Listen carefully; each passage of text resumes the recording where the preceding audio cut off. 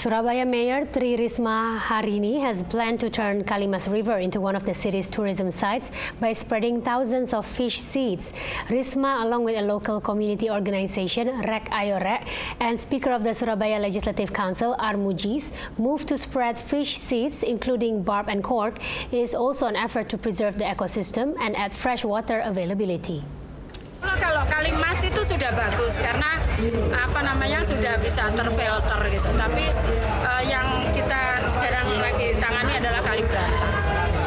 Yang akan dibenahi apa aja Bu di Kali? Yang Kali Berantas itu juga kita lakukan pengerukan.